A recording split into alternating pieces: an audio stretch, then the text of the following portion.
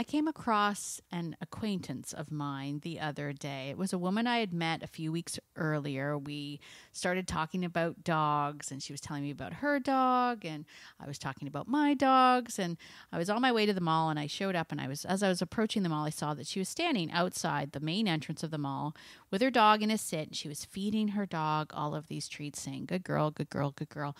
And uh, and I was like, well, that's interesting. So I side side saddled up to her because I could see that her dog was uncomfortable. Her the dog was very nervous about the you know the situation she was in. Readily still taking the treats, but still uncomfortable. And so I made sure I didn't look at the dog or talk to the dog. And I just said, hey, how are things going? And she said, no, not bad. I'm just really trying to work on my dog being um, a little bit more calm around people. So I thought I would come to the mall. And I was like, oh, okay, great. How's it going? And she said, well, not too bad, but she can, st- you know, she's still a little bit uncomfortable and I'm running out of treats. And I said, you know, half jokingly, I said, you know what might be a better idea?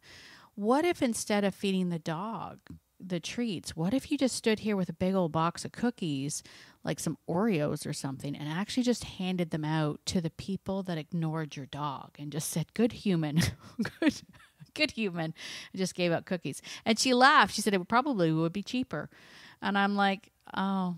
Right. And she said, Yeah, I can't believe the number of people that even after I asked them not to pay attention to my dog are still trying to pet my dog. Anyway, that I thought was an interesting concept. Let's reward the people for not talking to the dogs instead of the dogs. But that gets me into today's topic of treats. And here we are. I said I would do it. Here we are, the conversation about treats. To treat or not to treat, that is the question. Many people think that I am against treats, and that is not true. Treats 100% have their place. They can be an incredible useful tool, especially when we are training our dogs or helping them learn English as a second language. They can definitely be a relationship booster, but more often than not, many people use treats as a crutch to their relationship. And that's what I want to talk about today. So, today we're talking all things treats, how to use treats effectively, how and when not to use treats, and how to get the most out of that treat pouch. Let's go. Welcome to Beyond Obedience, the podcast, where we redefine dog companionship. Hi, I'm Tracy Franken, your guide to build a beautiful bond that transcends traditional training. Flip the script. This is where your dog is the true expert. For dog lovers who crave more than just a pocket full of treats, this is not your typical dog training podcast. This is Beyond Obedience. Hello, my dog loving friend. It is Tracy here from Beyond Obedience. This is Beyond Obedience, the podcast, episode number nine. And today we are getting into it. Today I want to give you some practical tips and tricks on how to utilize your treat pouch in a way that builds engagement and helps the dog to believe that you are, in fact, the reward, not the juicy chicken wiener. So, you don't want to be less than a chicken wiener. Am I right? Am I right? Nobody wants to be less than a chicken wiener in your dog's life. So this is a, an incredible topic, and I'm I'm so glad to get into it. But before I do, I have a very exciting announcement. Uh, this is episode number nine. I probably should have done it for episode number ten. That seems like it would have been a better number to do this on, but I couldn't wait. So just for my podcast listeners, I have I have put a coupon code on one of my online programs, Chaos to Calm. Chaos to Calm is my mini online program all about creating a calm household for your dog. It includes some talk about rituals and triggers in dogs, as well as uh, how to instructional videos on how to teach your dog the place command. And for my amazing podcast listeners, I am giving you the opportunity to grab Chaos to Calm absolutely free. You're going to simply go to beyondobedience.ca forward slash calm. At that checkout page, you're going to hit buy now. And on the checkout page, just put in under the coupon code the word podcast, and that should give you 100% off the price of Chaos to Calm. And that's just a little thank you from me to you, especially for those who have shared the podcast, who have given us a five star rating who have given me a review. If you haven't had a chance to do that, please do. It does help push the podcast out to more and more people.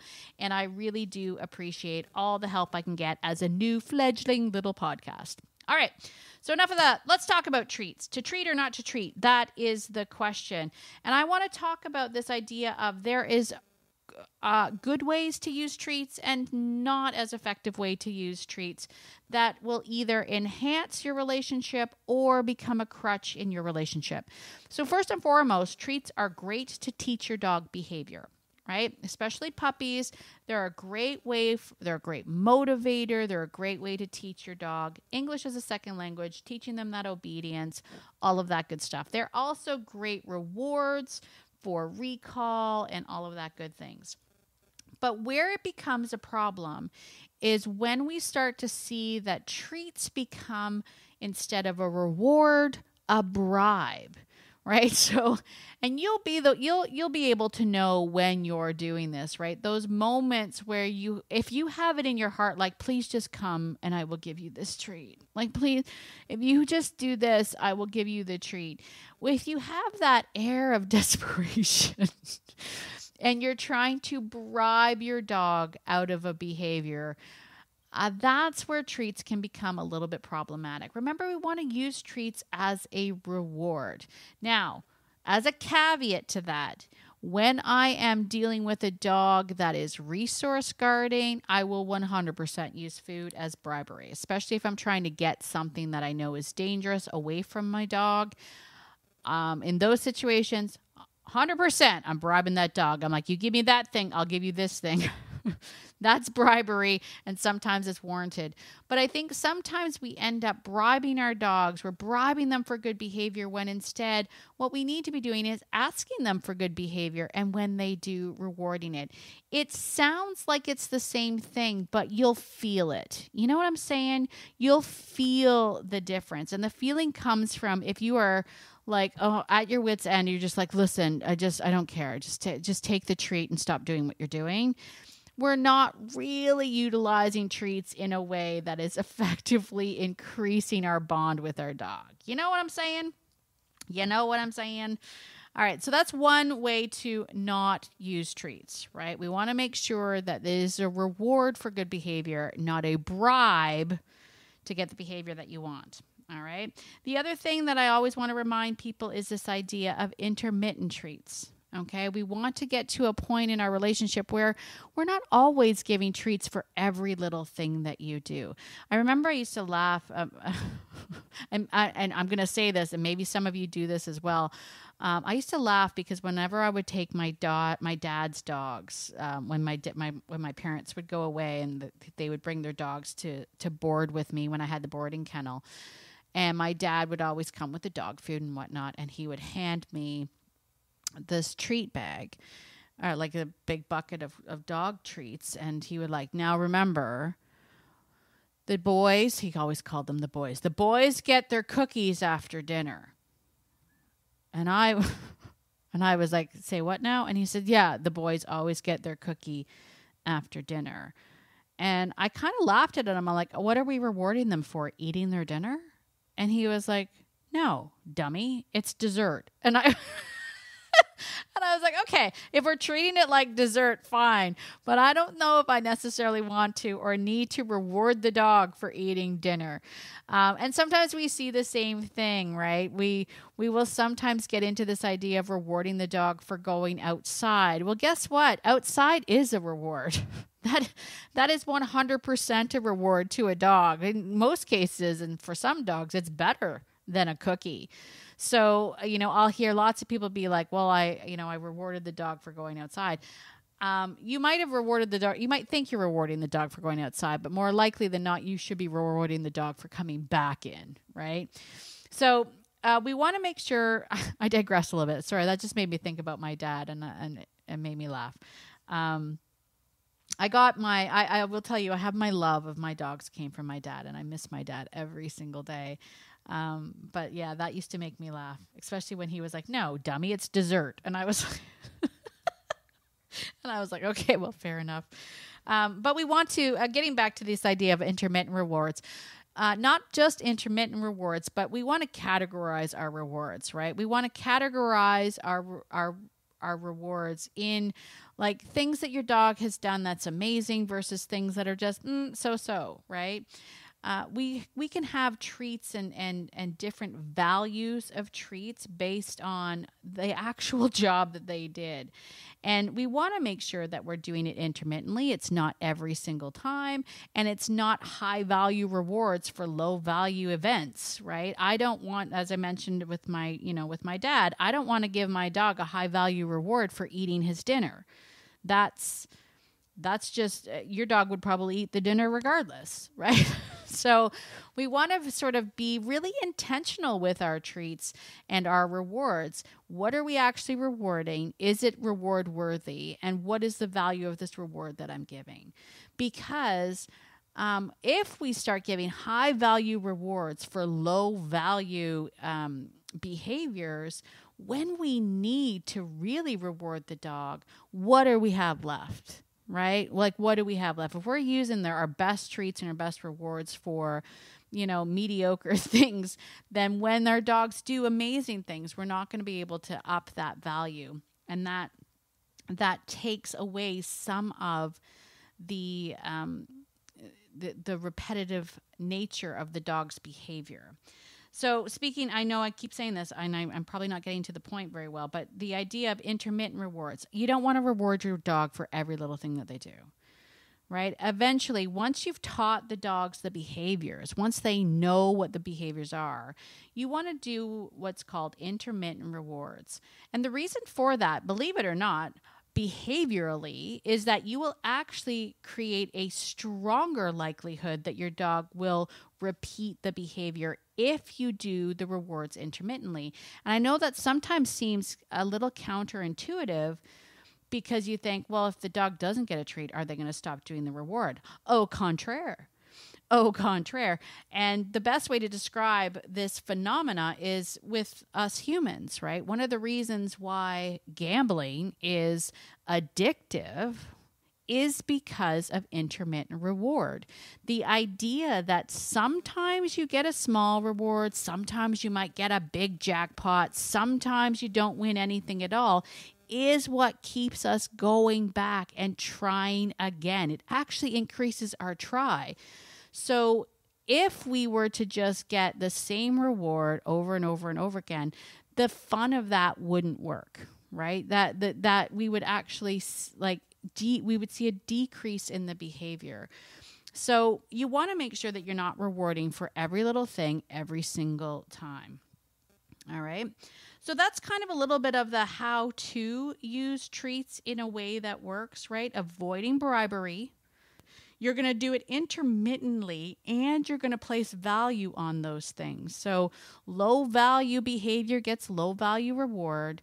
High value behavior, like your dog, if your dog, if you're out in a walk and your dog sees a squirrel and you go, oh my gosh, and you say, oh man, Fido, please come, come. And they turn and they come to you, I would be given the best of the best of rewards. I'd be digging in that treat pouch, finding the filet mignon the filet mignon of war of rewards for that because that's a big ask, right? You're asking the dog to suspend their genetic desire to chase things. They chose you over the squirrel.